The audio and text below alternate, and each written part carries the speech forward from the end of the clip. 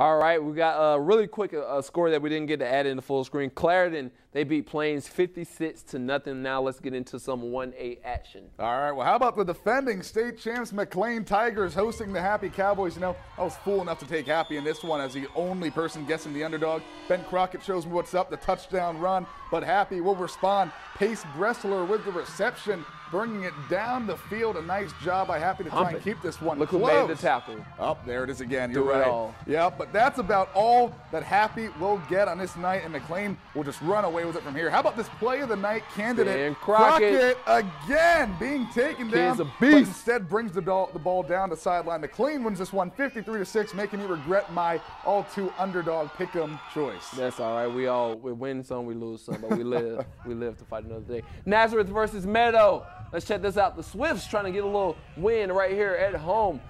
Tiptoeing down the sideline. That's a great play right there. Gets it in the end zone. Touchdown for Nazareth. Meadow, they respond though, cutting it back across the field and all that open green grass is just beautiful when you're playing six-man football. Nobody between you and the pylon that sits for the Broncos with the Swifts. They've got some great offense going there themselves, able to make some people miss in the open field. Another Swifts touchdown. The final score from this one, Nazareth wins by 20, 70 to 50. All right, well, how about some 1A scores? The Hedley Owls falling to Miami Warriors 36 to 12. Take a look at this next one. Couple scores.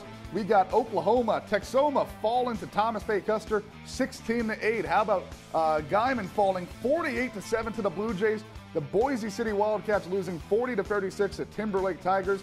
And this one, Sharon Mutual Trojans defeating the Tyrone Bobcats 60 to 32 and a couple more just if you were needing a little more action. 54 to 20 was the final over with the Turpin Cardinals taking down the Beaver Dusters and 25 to 14 the Hooker Bulldogs uh, falling to the Fairview Yellow Jackets. All right, got some more New Mexico scores. Give Evan a breather really quick. Oh, yeah. Clovis Woo. beating Sandia right there, 50 to nothing. Rio Rancho falling to Evan. What's that word? Uh, Cibola. Cibola. There Yeah. we go. 48-13. We hope that is right. Portales getting the win against the Capital Jaguars, 35 to 26. And Logan getting a win against Dora. I can say that one, 20 to 6. West Las Vegas getting the shutout up against the Raton Tigers. Raton? Raton? Yeah, you just hate to, you, you hate to see the goose eggs in those scoreboards. Yeah, you just man, you hate know what happens though. I mean, but defense coordinators they love to see it. Oh, they love to see it from their to guys. You know, uh, a great week of game planning ends up with a goose egg. That means you've done something right that week. Try to do the same thing the following week. And some people coming up in this next segment want some awards. They're gonna try to do that next Oh week. as yeah, well. we've seen some big plays tonight. I mean, hit of the week, play of the week, battle of the band winner. We got it all, ladies and gentlemen. You- I mean, it's like the Emmys up in here. Hey, it don't get no better. it don't get no better. We'll be right back there. I stick with us.